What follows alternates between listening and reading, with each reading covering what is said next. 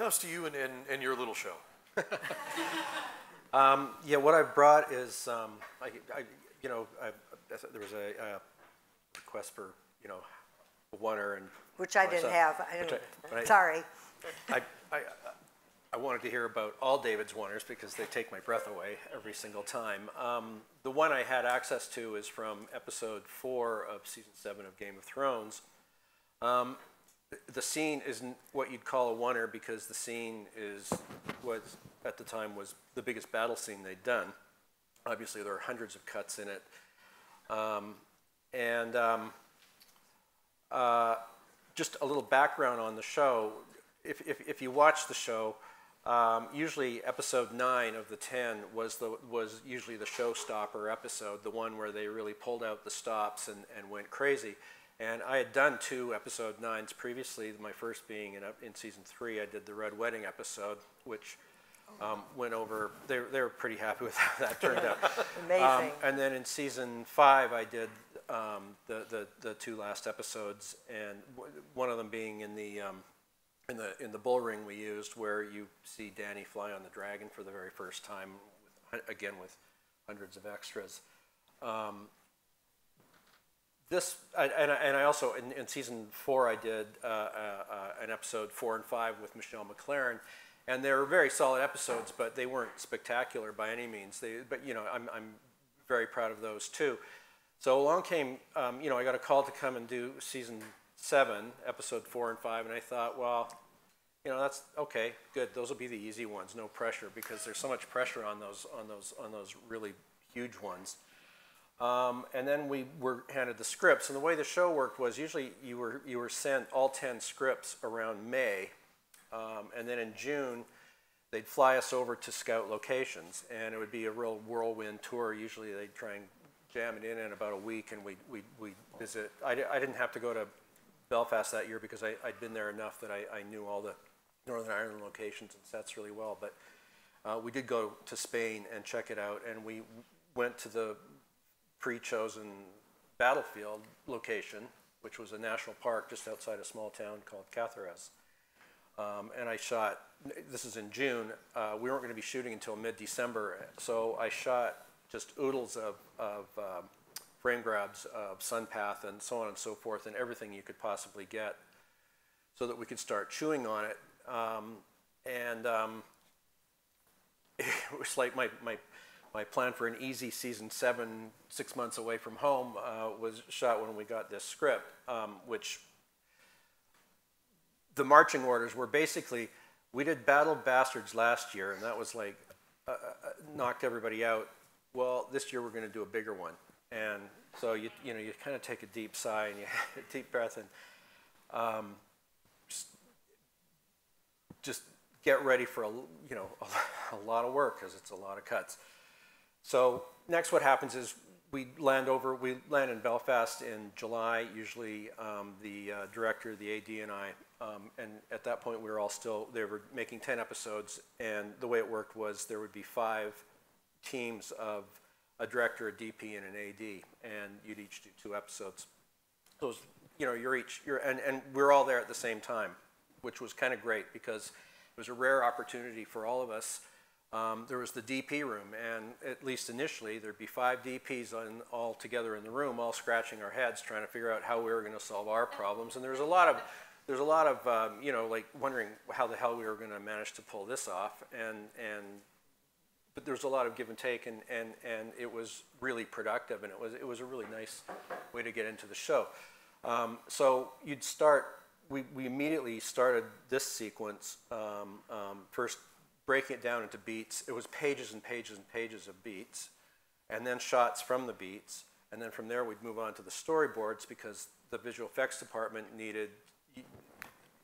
Their, their, in spite of what you might think, their budget was stretched, always stretched absolutely to the limit. So for budgeting these kind of things, um, a great deal of care went into the storyboarding and the planning to try and avoid having to do visual effects shots and anything that we could possibly figure out how to do efficiently, practically, um, we would do that. And then to save that VisFX money for more important things like building photoreal dragons, and which is pretty expensive. Um, so we storyboarded the scene, and we wanted to uh, at least have, I mean, keep it as, as subjective as we could, very much in our key characters' um, worlds and points of view. And at one point in the in the in as the battle has has started, Jaime tells his man Bronn that he's got to basically do a suicide charge from one end of the battlefield to the other, right through the thick of the battle. They're on, they're kind of in a safe spot where where uh, we find them, and um, to, to to get to this thing that the character Qyburn, who was um, kind of the the Red Keeps Q of James Bond fame, who had had built this gigantic crossbow specifically made for shooting down dragons. Um, and he, he's positive he's not going to make it. I mean, he, and, and it was very well played.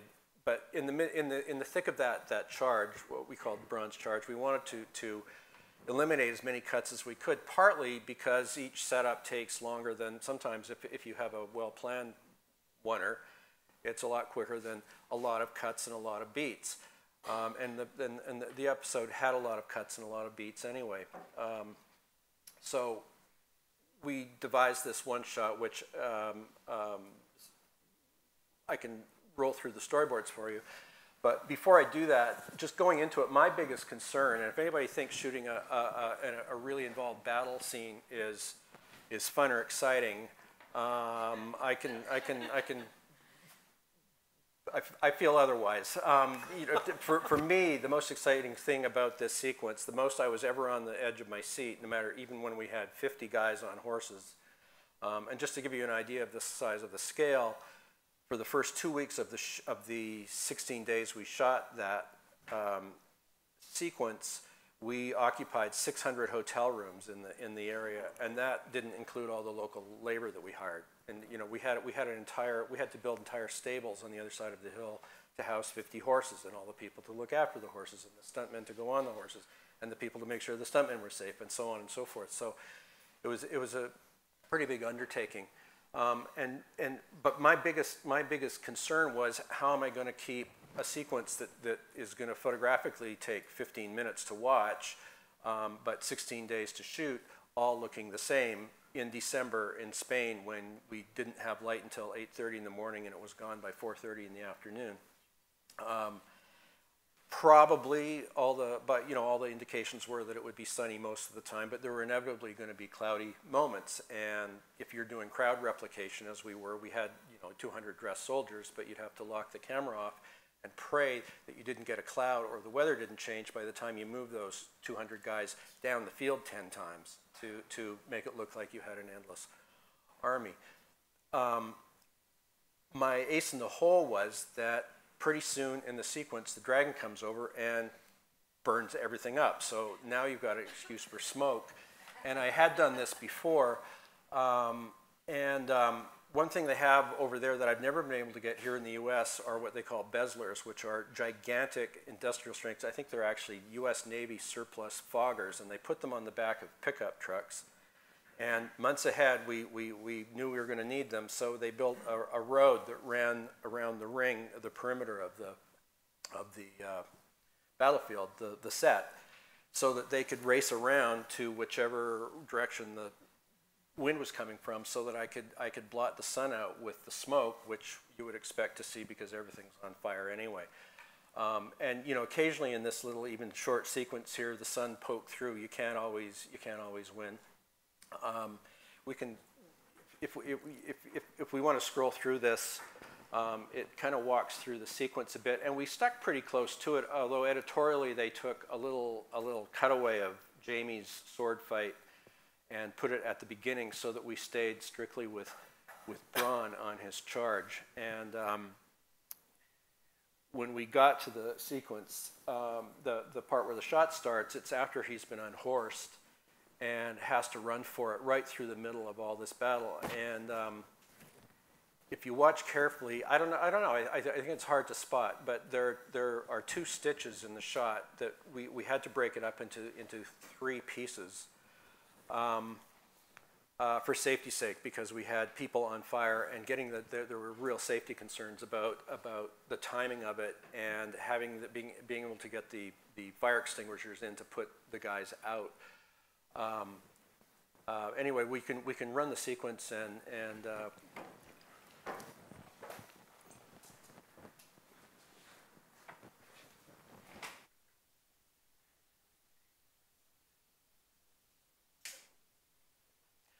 I used no filters on this at all uh, because the, the showrunners had a very strict no flare, no, no, they, well, I can talk about it after, but um,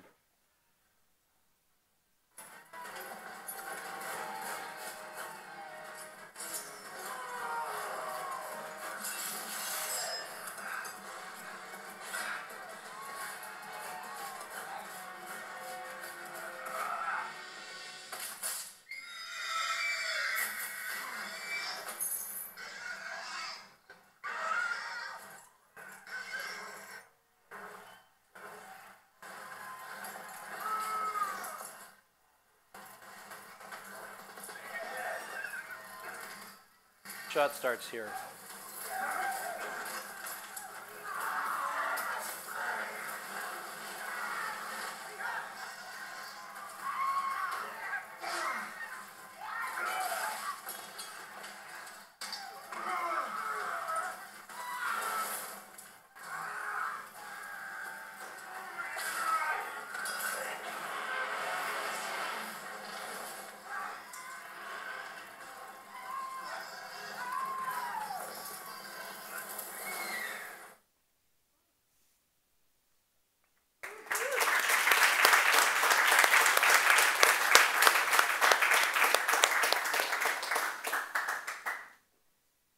Yeah, just, just backing up a bit, some of the, some of the visual rules for the show um,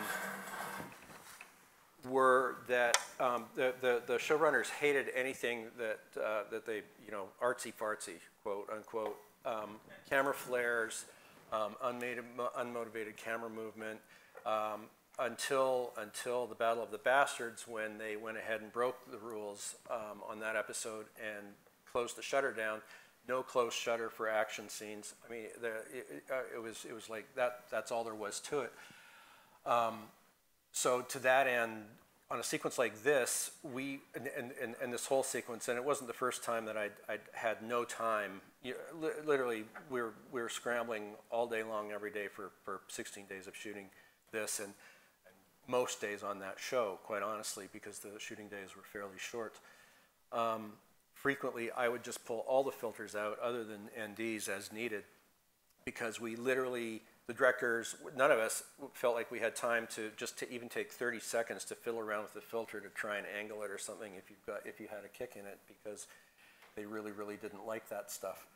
And um, um, it, it um, yeah, anyway, the, the other, other times when I was dealing with, you know, trying to pretty up the ladies and stuff if they, you know, if, if, if it was needed. I, I did use light glimmer glass and occasionally Hollywood Black Magics on the show, but any of the action sequences outside, those were all shot clean, um, both in this and, and in season five and the others uh, action sequences I did. Now, as he's running along here, the first stitch was, was the swish pan off the horse back, uh, banging into the uh, Burning Man. And obviously, this was all, there were no fake horse, no fake uh, horse riding here. It was all real actors on real horses um, being tracked. We had a tracking, an all-terrain tracking vehicle with a, uh, with a Scorpio head on it. Um, and originally, this shot had been planned to do, we'd planned to use the Maxima uh, because we'd had really, here comes the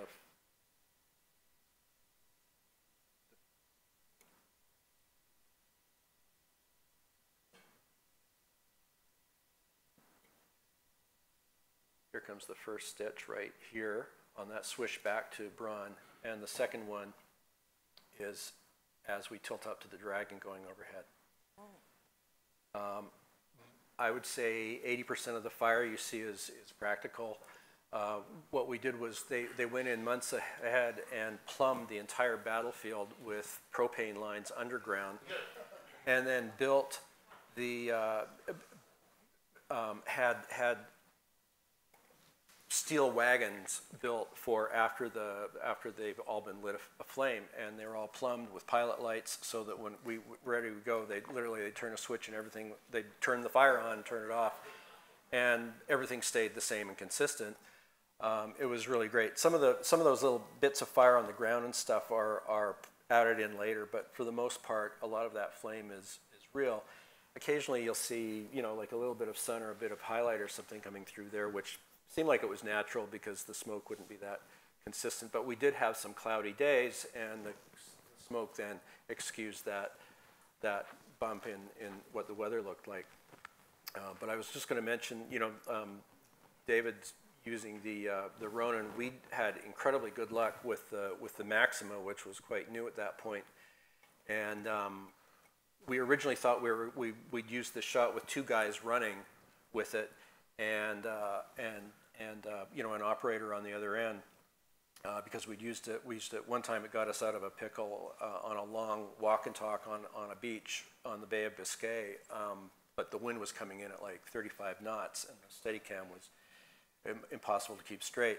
Um, the Maxima really saved our butts on that one and, and in quite a few other instances. And so we're all really sold on it. But in terms of the energy and stuff, at the, en- at the end of the day, we put a mini LF, um, uh, actually a mini, not an LF, uh, with a, with a Cooke S4, which were our was our standard equipment on that series on uh, operator Chris Plevin's shoulder, and he killed it. Um, now, we did rehearse this a few times, but we got it more or less in one take. Um, and because everybody was so concerned about the fact that every time you're, you're you, you don't want to be lighting guys on fire. And, and three days before that, we'd lit 20 on fire at the same time and, and set a new Guinness Book of Records for doing that. And we, we, we were, we didn't want to push our luck, um, and we didn't want anybody getting hurt. And, and uh, luckily, nobody did in the, in the uh, 16 days of shooting on that sequence. This was, this represented, I think, about three hours out of that schedule. So handheld with a Cooke S4? You remember what Yeah, focal length? Like- Stripped down. Um, I want to. We use the 27 a lot. I know. Uh, I used. I mean, you know, and, and I, you know, my favorites on that series are, are like the 27 and the 40. But um, I assume that's what it was. Guessing. Thank you for that question. It's really hard for me to resist the lens questions.